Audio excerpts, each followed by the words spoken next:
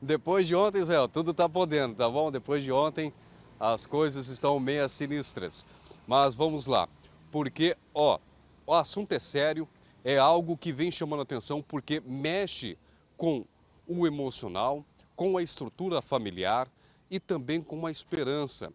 Durante anos, as mulheres que lutavam contra o câncer de mama vinham sofrendo e, é claro, ficavam à mercê da esperança e da sorte.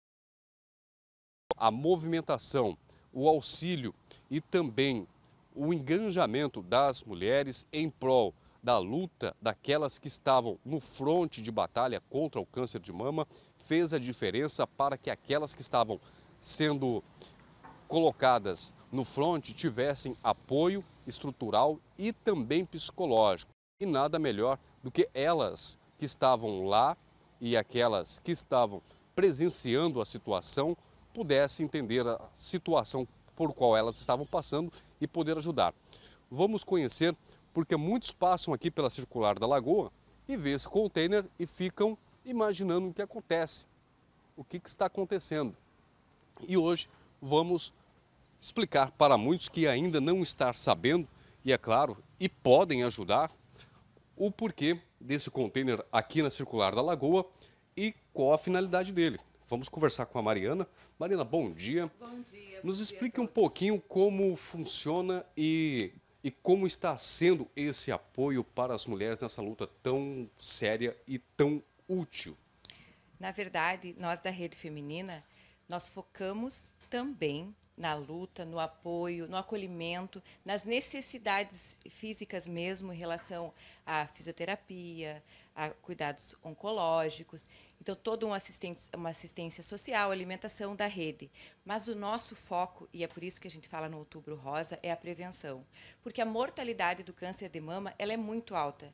É o câncer que mais mata no mundo.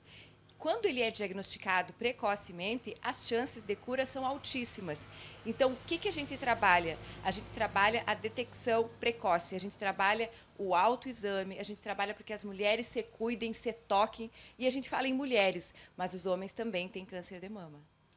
Agora, aqui no container, a, aquela pessoa que quer contribuir ou até mesmo está na, na luta contra o câncer de mama e quer ter aquele apoio, o que, que ela encontra e como ela pode vir buscar esse o, o, nosso container a gente chama de o pit stop cor-de-rosa. É para chamar atenção.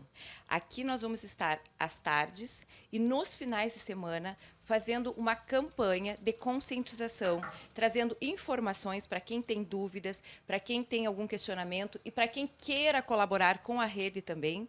Então, vem até o container no período da tarde, segunda, quarta e sexta, e nos finais de semana, que nós vamos mostrar, vamos acolher, vamos explicar, vamos um pouquinho de tudo das dúvidas das pessoas que têm câncer e das pessoas que querem simplesmente ajudar.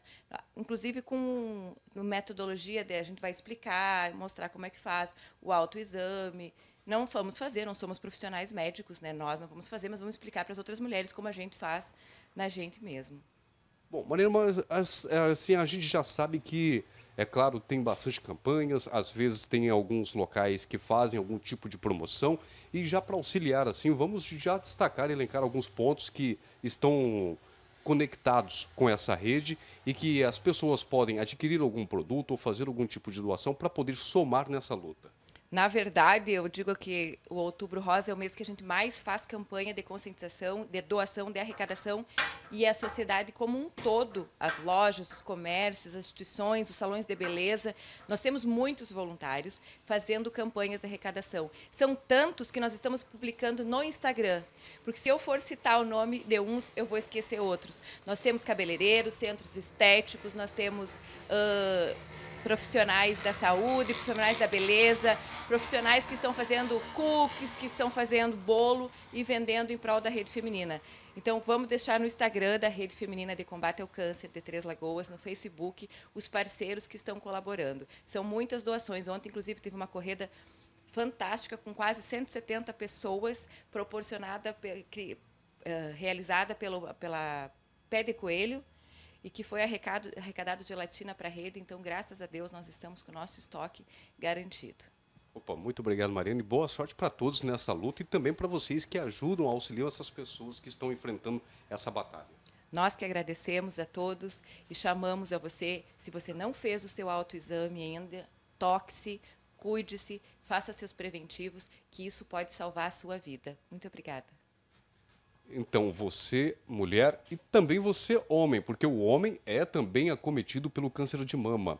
Tivemos o nosso colega de trabalho, Cardoso Filho, que teve também câncer de mama, teve complicações e é necessário o exame prévio, descobrindo o quanto mais cedo, mais eficaz será o tratamento e maiores serão as chances de sucesso no tratamento. Então, não postergue, não deixe para a última hora. Dê uma passadinha aqui na Circular da Lagoa, aqui pertinho do final da Capitão Linto Mancini, com o início da Avenida Aldair Rosa de Oliveira, bem do lado da quadra de areia, onde ficava a sede da Cijuvel, para você tirar suas dúvidas e assim você conseguir previamente fazer o seu exame e previamente, se caso infelizmente tiver alguma complicação, você conseguir começar o tratamento o mais rápido possível para aumentar as suas chances de, é claro, ter sucesso nesse tratamento. É com você, Israel.